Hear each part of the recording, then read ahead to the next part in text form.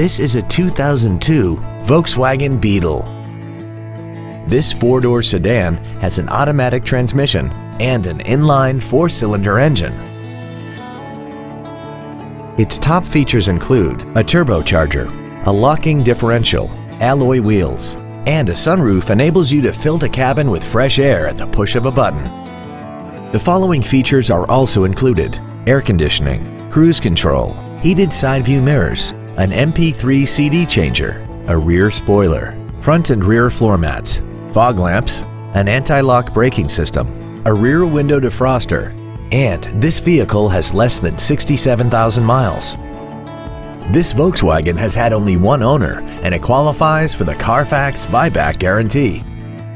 Please call us today for more information on this great vehicle.